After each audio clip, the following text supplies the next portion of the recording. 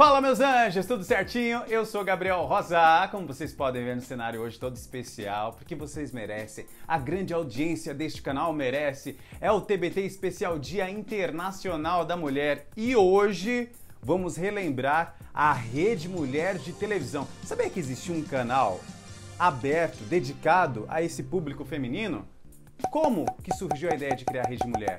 Quem trabalhou nesse canal? Ó, gente famosa trabalhou nesse canal, hein? E por que acabou? Fica comigo que eu te conto tudo no vídeo especial do Dia Internacional da Mulher, da Rede Mulher de Televisão. Ó, gente, e sem falar que daqui a pouquinho eu vou te ensinar a como fazer essas caixinhas aqui, ó, maravilhosas, ó. É, não é a nossa culinária, é a nosso o quê, Cole?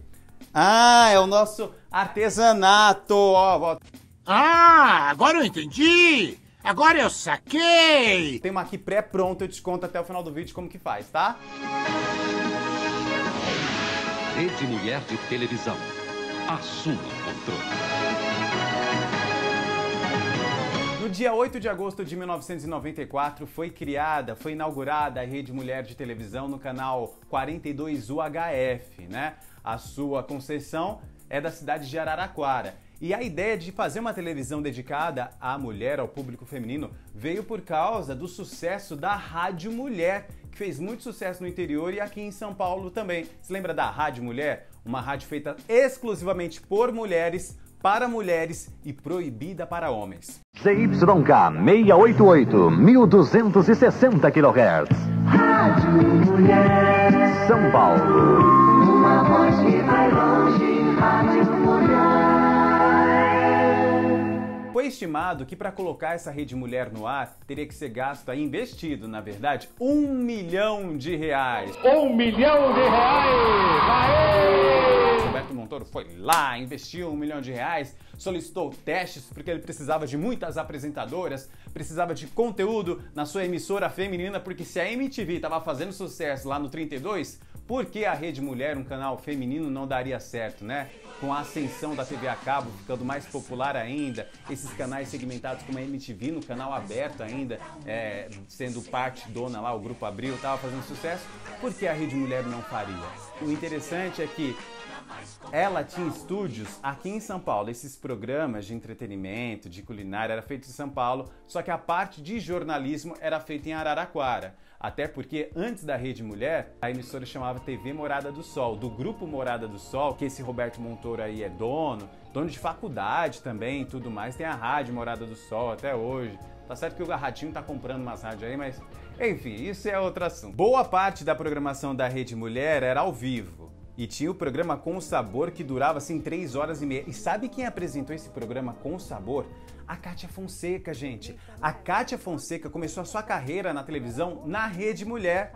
Pois é, ela que fez vários TEDs, levou vários nãos na cara, ela apresentou esse Com Sabor e apresentou também o programa Universo Feminino. E tem um episódio muito legal desse Universo Feminino, onde ela entrevista um bruxo. Eu vou receber um agora aqui no nosso programa. É o Mabu Banto, que é bruxo. Mabu, quem que faz uma pessoa ser bruxa? Quer dizer, é de família? É uma herança que você recebe? No meu caso, vem de herança de família, que são oito séculos de tradição em Andaluzia. Então, desde a gestação de minha mãe, eu já comecei a ser preparado para ser o herdeiro de Luçabá, dessa confraria que tem 834 anos. O legal dessa emissora da Rede Mulher é que ela gostava de falar com todas as etnias possíveis, mas ia chegar um determinado tempo aí que você vai ficar sabendo que não era, não ia ser mais permitido falar de todos os assuntos. Por quê? Calma, calma. Outros artistas que participaram aí do elenco da Rede Mulher foi o Leão Lobo, é, o fofoqueiro Leão Lobo, gracinha, bárbaro. Leão Lobo, que tinha lá o Coffee Break, era um programa de entrevistas, ele recebia o pessoal, tinha aquele papo gostoso com aquele cafezinho e tudo mais. Tinha o programa também Antena Ligada, onde tem um episódio que ele entrevistou a Mara Maravilha. umas vezes. Porque você, dessas apresentadoras infantis todas, você era a única que sempre. Parece que nasceu para música, né? Quando você gravava aquelas músicas ah, anteriores, eu falava, puxa, mas ela tem um balanço, um ritmo, um jeito de cantar. E Mas os eu acho, que eu, teus tô, gestos. eu acho que eu tô começando a cantar agora. Mesmo? Antes eu não cantava, não. É, não. E além desses programas de variedades, e além do jornalismo sendo feito direto de Araraquara, porque tinha os estúdios da Rede Mulher em São Paulo, boa parte desses programas era feita em São Paulo, o jornalismo que era feito no interior, tinha também filmes, tinham séries, Mas a audiência da Rede Mulher não estava alavancando, sempre ali no tracinho, dificilmente chegava a um ponto.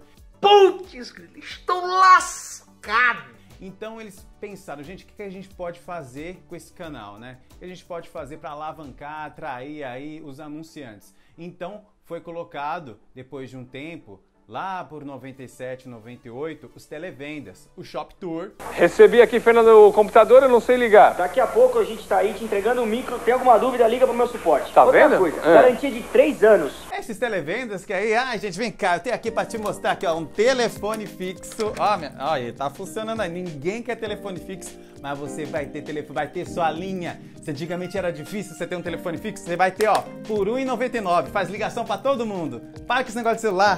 Usa telefone fixo. Liga agora, 0800 776 6888, tá bom? E vai ganhar, e vai ganhar linha grátis e um telefone. Era assim. Não é?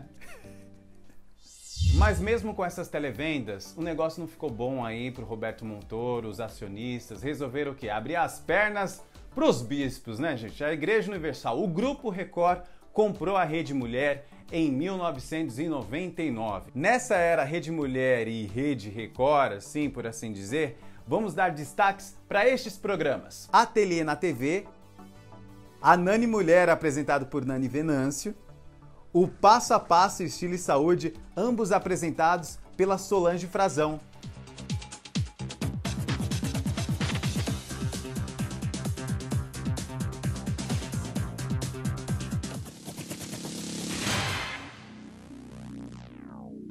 Gente, antigamente não tinha essa de internet, da gente fazer eh, ginástica com YouTube, comprando curso online para ganhar ou perder peso. A gente ou comprava a fita para ver como a pessoa fazia exercício, colocava lá no videocassete, ou, assi ou assistia a Solange Frazão. Só ali, ó, nos exercise. Vamos lá. É um, agachamento, vai. Dois, isso.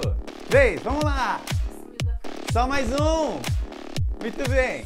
E já que a Record, no final dos anos 90, adquiriu vários campeonatos, principalmente estrangeiros, UEFA, Champions League, boa parte desses campeonatos passavam na Rede Mulher também. E também tinha destaque para o programa do Milton Neves com a Renata Fã, que na época eram amiguinhos, né? Eles faziam duplinha, faziam sucesso com o programa Golaço lá na Rede Mulher. Tá curtindo o vídeo de hoje? Então lembra de deixar seu like, se inscreva no canal porque vem mais coisa aí sobre a Rede Mulher, viu? Hora de falar das polêmicas! Ok, ok, vou destilar o meu veneno. A respeito da Rede Mulher. Quando ela foi adquirida pelo, pelo Grupo Record, em 99, a galera toda dispensou quem?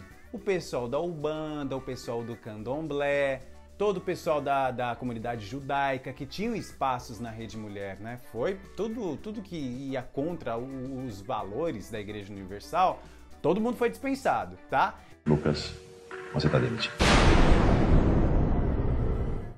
Não estou! E aí, em 2004, a Rede Mulher levou um baita processo junto com a TV Record. Por quê? Por racismo, preconceito. Porque lá na Record e na Rede Mulher exibiam programas da, da Universal. Né? Com os bispos, o pessoal exorcizando todo mundo. Ei, Satanás! E aí foi denunciado que eles estavam associando as religiões Umbanda e Candomblé com feitiçaria, com bruxaria, com encosto, baita preconceito mesmo, levou um baita processo e aí a Rede Mulher se defendeu falando que esses programas eles eram independentes e de total responsabilidade de seus idealizadores. Mas a Rede Mulher por que acabou? Mas por que acabou? Eis a pergunta principal deste vídeo, por que acabou? Porque, gente, só ficava no traço ali só ficava no traço da audiência, mesmo sendo do grupo Morada do Sol, e aí quando virou pro grupo Record, enfim, não saía do traço, dificilmente chegava um pico de audiência, e aí eles pensaram, ah, gente, vamos, vamos fazer o seguinte, vamos acabar com a Rede Mulher, não tá dando certo, né? Ah, a TV a cabo só se popula- popularizando mais e mais, mas a Rede Mulher não, eles estavam fazendo alguma coisa de errado, eles não estavam entendendo direito o que eles gostariam de fazer com a emissora, que começou a passar filme, sei lá das quantas, tudo que era de série de Record passava na Rede Mulher, então ficou uma bagunça e tanto. E então o que eles decidiram fazer, já que não estava dando lucro? Transformou a Rede Mulher em Record News, uma baita ideia, né? Um canal aberto só com notícias. Seria genial se tivesse um investimento e o trabalho sério não misturasse com religiosidade, como a gente vê nos dias de hoje, né? Não, tem que fazer um negócio certinho ali. Faz tipo um padrão Globo News TV aberto, um padrão CNN, mas não. Não sei se você gosta da Record News. A minha, uma emissora também, já, já vai virar outra coisa, porque eu acho que não dá tanto lucro assim também não. Mas é a minha opinião. Bom, gostou do vídeo de hoje? Você assistia a Rede Mulher? Tinha o programa do Alan, Mestre Cuca, era legalzinho. Todos os programas tinham um bonequinho, né? Fazendo contraponto com o apresentador. É verdade, Gabriel. É verdade. Eu sou o melocotão, tô sempre aqui, mas você me dispensou hoje. E ó, vou contar um segredo pra você. A Nicole só tá pum no estúdio. É porque eu como veia. Se você curtiu o vídeo de hoje, lembra de deixar o seu like, se inscreva no canal, coloca aí nos comentários quais programas você lembra da Rede Mulher. Chegou a acompanhar a Rede Mulher? Na minha casa pegava muito mal esse canal, por mais que eles falassem que investiam em transmissão, tipo, eu tinha que fazer um malabarismo lá com a antena para funcionar. Mas eu prometi que ia fazer ensinar vocês a fazer essa caixinha maravilhosa. Vocês vão lá no serralheiro, ok? Tá vendo essas caixinhas? Tá aqui, vocês vão lá no serralheiro. Vai pedir pra ele fazer esses, esses pauzinhos aqui, essas madeirinhas. Vai fazer desse tamanho, pode ser tamanho médio, tá? Você 15 centímetros, obrigado. De 15 a 16, obrigado, Nicole. E aí o que você vai fazer? Depois que adquiriu, você vai pegar aqui, ó, não sei se tá focando, pregos e martelinho, mas cuidado para não martelar a cabeça do amiguinho. E aí você vai fazer um jogo de quebra-cabeça, martelar, tudo bonitinho, até ficar assim. E aí você pode pendurar onde você quiser. Minha mãe colocou uma plantinha aqui, ó, porque ela achou super feminino. Deixei meu Mario Brother aqui, ó. Coloquei essa, lembrancinha da Bahia e também a minha lua ali. Ficou uma graça. Aprendeu? Faça na sua casa e me conta depois se você conseguiu fazer também nos comentários. Compartilhe esse vídeo para todas as mulheres que você ama, compartilha para quem você acha que gosta desse assunto de televisão e muito obrigado por ficar comigo até o final do vídeo. Ó, beijo de anjo e feliz Dia Internacional da Mulher. Até o próximo vídeo. Ó, tô em todas as redes sociais, hein? Bora se seguir. Beijo de anjo, se cuida e parabéns, mulher!